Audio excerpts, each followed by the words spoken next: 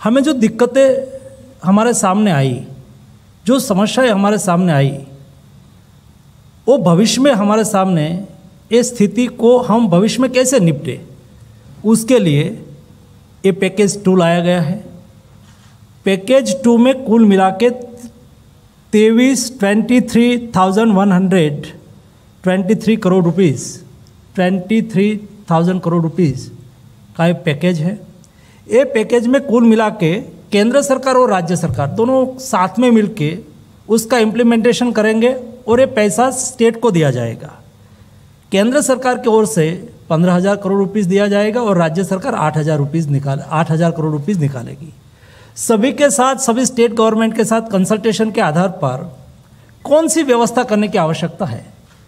Second waves में हमने देखा कि देश में बेड आज के दिन में जो पीक पर पहुँचा था सेकंड वेव्स तो क्या स्थिति थी? उसको देखते हुए क्या करना चाहिए? देश में, भविष्य में ऑक्सीजन की क्राइसिस ना खड़ी हो, उसके लिए क्या करना चाहिए? सभी स्टेट के साथ विस्तार से कंसल्टेशन हुआ। क्रिटिकल मेडिकी मेडिसिन की कोई किल्लत ना हो, उसके लिए भी व्यवस्था, भविष्य के लिए बनाने के लिए। और, भविष्य में बच्चों में कोविड का फैलावा हो तो उसके सामने हम कैसे, कैसी व्यवस्था करें? एक कुल मिला के ये सारे विषय को जोड़ के ये पैकेज बनाया गया है।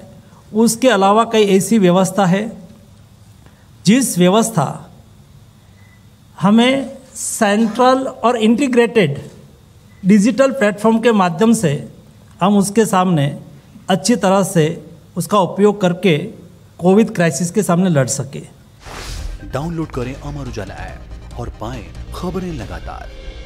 अगर आप ये वीडियो YouTube पर देख रहे हैं तो हमारे चैनल को सब्सक्राइब करें और बेल आइकन को दबाना ना भूलें। अगर आप Facebook पर यह वीडियो देख रहे हैं तो हमारे पेज को लाइक करें।